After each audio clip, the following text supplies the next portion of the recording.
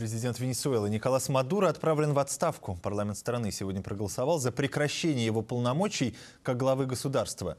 Судьбу Николаса Мадуро сегодня решали на экстренном заседании Национальной Ассамблеи. Вопрос об отставке президента внесли оппозиционные депутаты, которые в парламенте обладают большинством голосов.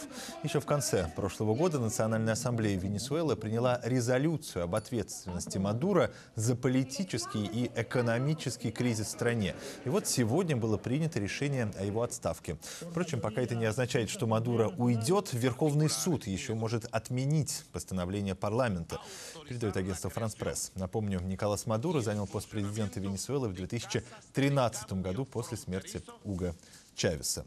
Ну и вот, как э, только что стало известно, Верховный суд Венесуэлы, как и ожидалось, заявил, что решение об отставке Николаса Мадуро незаконно, так как процедура импичмента не, импичмента не предусмотрена в Конституции.